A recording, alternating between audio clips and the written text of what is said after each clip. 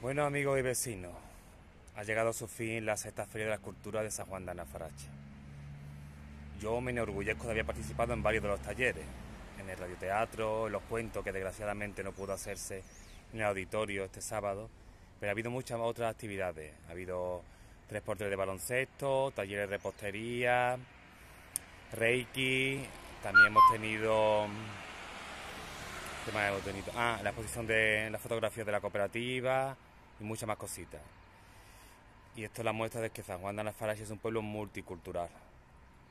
Y de todo se saca, de todas las culturas se va sacando sus cosas buenas, vamos y vamos aprendiendo una de otra. Así que nada, esperaremos la séptima Feria de Cultura que esperemos que sea sin COVID, que seguramente será sin COVID. Y nada, me alegra mucho haber participado en esta sexta feria. Venga, gracias. Hasta luego.